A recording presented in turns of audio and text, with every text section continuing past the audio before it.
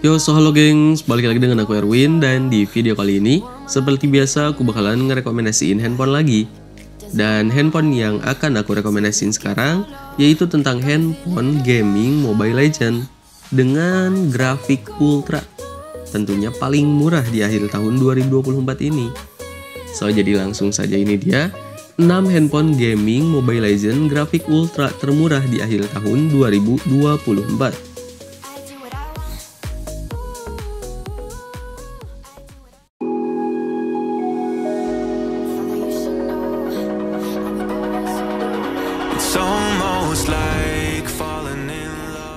Itel P65 hadir dengan layar IPS LCD 6,7 inci, resolusi 720 x 1600 pixel, dan refresh rate 120 Hz.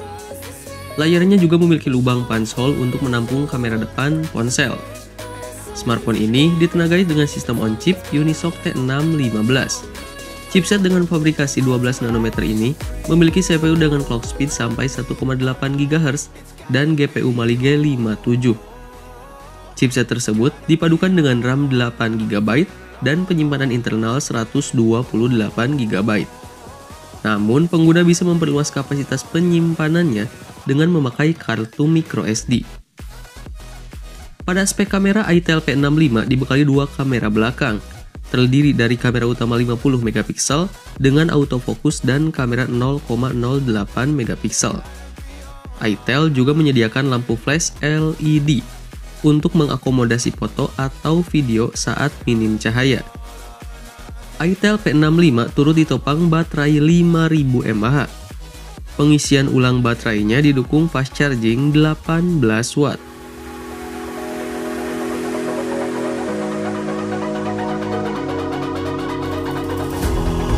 these doubts like the playing cards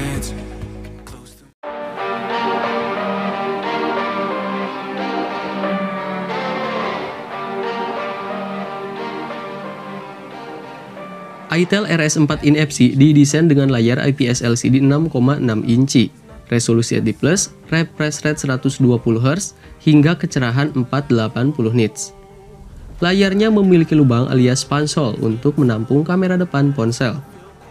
Layar itel RS4 in FC juga dibekali fitur Dynamic Bar ala Dynamic Island iPhone 14 Pro. Dynamic Bar di itel RS4 in bisa menampilkan sejumlah info, seperti status baterai hingga panggilan masuk. Pada aspek hardware, itel RS4 in ditenagai chipset Helio G99 Ultimate 6 nanometer dari MediaTek. Helio G99 Ultimate di itel RS4 in dipadukan dengan dua opsi RAM dan penyimpanan, yaitu 8 per 128 GB dan 12 per 256 GB. Beralih ke aspek kamera, itel RS4 in FC dibekali kamera belakang ganda, terdiri dari kamera utama 50 megapiksel dan kamera 0,3 megapiksel. Ponsel ini juga dilengkapi kamera depan 8 megapiksel. Daya tahan itel RS4 in FC ditopang baterai berkapasitas 5000 mAh disertai teknologi fast charging 45 watt.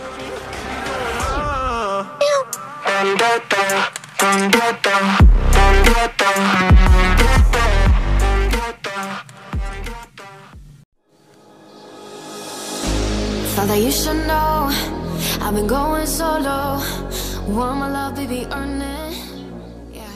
Technospark 20 Pro mengusung layar 6,78 inch dengan resolusi Full HD Plus 1080 x 2436 pixel dan refresh rate 120 Hz.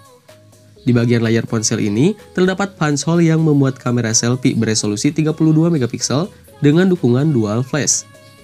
Sementara itu, di bagian punggung Technos Spark 20 Pro mengusung dua pengaturan kamera belakang.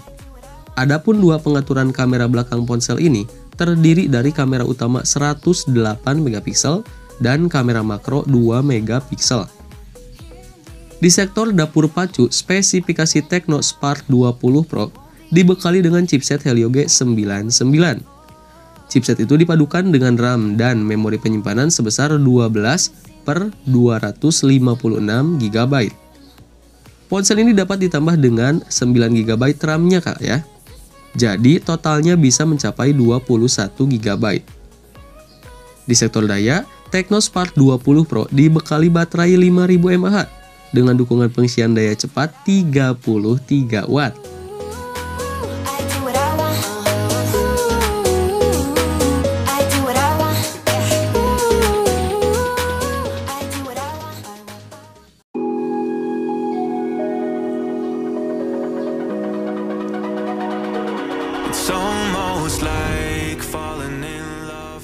Infinix Hot 40 Pro membawa layar IPS LCD 6,78 inch dengan resolusi Full HD+, 1920 x 1080 pixel, refresh rate 120 Hz. Di tengah atas layar terdapat modul lubang pansol yang memuat kamera selfie 32 megapiksel. Modul ini sudah dibekali fitur Magic Ring mirip eh, Dynamic Island milik iPhone 14 Pro sehingga bisa berubah ukuran dan memanjang saat pengguna menerima notifikasi panggilan. Beralih ke bagian punggung, Infinix Hot 40 Pro dibekali kamera utama 108 megapiksel f1.8, kamera 2 megapiksel f2.4 makro, dan lensa AI. Kamera ini mendukung sejumlah fitur seperti professional portrait mode, ski remove, dan dual view video. Infinix Hot 40 Pro ditenagai oleh chipset MediaTek Helio G996 nanometer. Untuk daya, smartphone ini ditopang oleh baterai 5000 mAh dengan pengisian cepat atau fast charging berdaya 33 watt.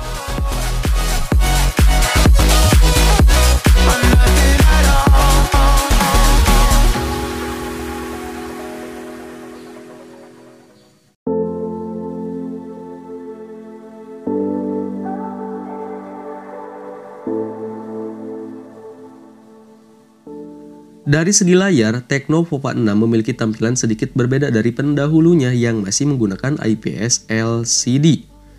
Tecno Pova 6 kini mengadopsi panel AMOLED dengan ukuran 6,78 inch, resolusi Full HD+, dan refresh rate 120 Hz. Selain desain, fitur unggulan lainnya adalah baterai jumbo dengan kapasitas 6000 mAh dengan pengisian cepat 70 watt Teknopopa diotaki oleh chipset MediaTek Helio G99 Ultimate yang diklaim memiliki performa hingga 10% jika dibandingkan dengan Helio G99 reguler pada Teknopopa 5. Chipset tersebut dikolaborasikan dengan opsi RAM 8GB atau 12GB serta penyimpanan internal dengan kapasitas 256GB. Dari segi kamera, Tecno Pova 6 memiliki satu kamera belakang dengan resolusi 108 megapiksel. Pada bagian depan ada kamera selfie 32 megapiksel yang dimuat pada punch hole yang terletak di tengah atas layar.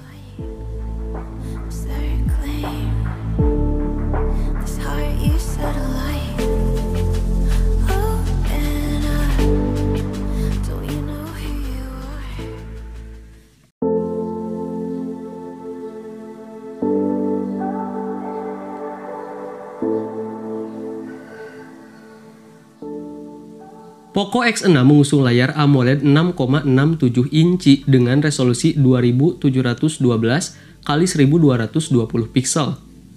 Layar ini dilapisi kaca pelindung Corning Gorilla Glass Victus sehingga panel tidak mudah retak atau tergores saat terjatuh. Bagian tengah atas layar dilengkapi sebuah modul lubang punch hole yang memuat kamera selfie beresolusi 16 megapiksel f2.45 pada bagian punggung, smartphone dapat terdapat maaf, terdapat modul persegi yang memuat tiga kamera belakang, yakni kamera utama 64 megapiksel f1.79, kamera ultrawide 8 megapiksel f2.2 bidang pandang 118 derajat, dan kamera makro 2 megapiksel f2.4. Di sektor jeroan, gawai terbaru Poco mengandalkan sistem on chip SoC ya, maaf, Qualcomm Snapdragon 7S Gen 2 4 nanometer. Untuk urusan daya, Poco X6 ditopang oleh baterai jumbo 5100 mAh dengan teknologi pengisian cepat atau fast charging berdaya 67 watt.